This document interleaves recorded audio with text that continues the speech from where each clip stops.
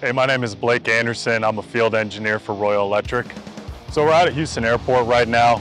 We're really focused on getting all the LSAP lighting done, all the running, uh, all the lighting coming forward.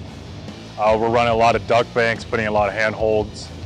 Yeah, so our morning starts at 0630. From there, we conduct stretch and flex, our morning meetings. We all like to pitch in about what we can do to improve on being safer, what we can do on making the day more productive. Once that's done, we have about a 15 minute drive into the gate to our job site. It's a very lengthy service road. Once we're here, uh, I like to get straight into work with grabbing the guys any material that they need, any kind of tools, equipment, and then I'll go through with the guys, check on their equipment, make sure everything's functional, working. Once all that's wrapped up, I'm normally back out helping the guys in the trench or in the ditches, and we're just moving forward throughout the day. So our start date was back early January. Uh, currently we're working on all the approach lighting and then we're due to end around March 20th, but we're hoping that we can beat that deadline. So we're out with DACO and they're very experienced when it comes to airfields. They're actually working on all the demolition out here for us and the hurricane shelter along with the FAA shelter. That's gonna be all in their scope and we're gonna run power over to them. Yeah, it's been really good working with DACO. They've been very helpful, such as lending us equipment or lending us a hand if we need it, and vice versa. We're always there to help them if they need it, and we've helped them a lot when it comes to the demo work out here and just tearing up the ground for them. Some of the challenges that we've been facing out here in Texas, especially has been the weather. Uh, we've been fighting it a lot. A couple weeks ago, it was 35 degrees, and now we're back up to the 80s, and that really affects our digging problems such as the ground and how dense it is or how loose.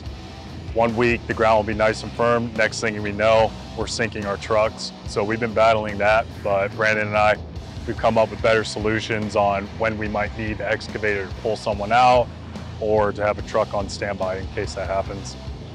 So Brandon being my superintendent, he's been extremely helpful.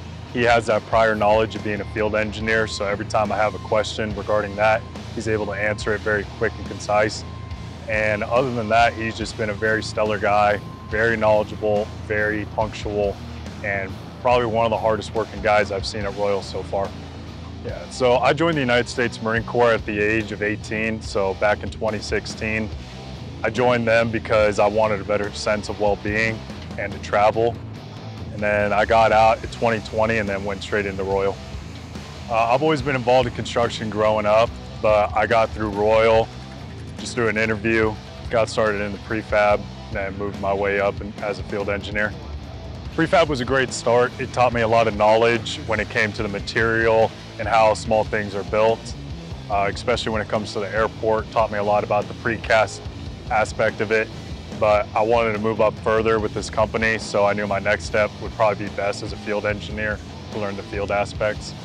Uh, as a field engineer, our day-to-day -day is pretty much just dealing with the heavy jobs, uh, quality control work, and then pretty much just helping out the crew wherever they need it, that, whether that be running material or we're out in the field in the trenches with them.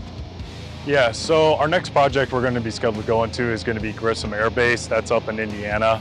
Uh, that will be myself, Jordan Cole, Roxy, and Brandon. So we'll be heading up there. That's scheduled for a six-month project.